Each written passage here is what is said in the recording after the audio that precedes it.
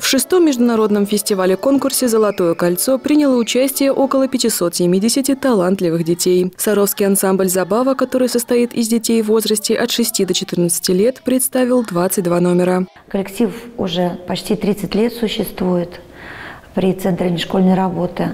Сейчас мы занимаемся в детском клубе «Чайка».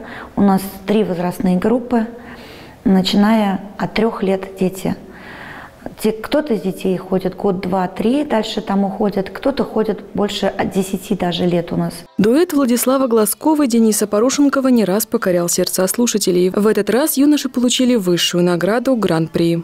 Ну, это в душе заложено, как любовь к русской песне, ну вот как бабушки наши пели.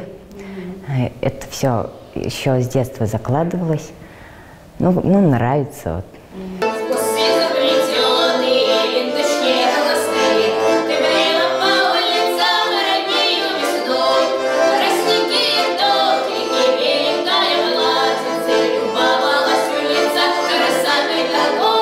Вот, например, танец топорище.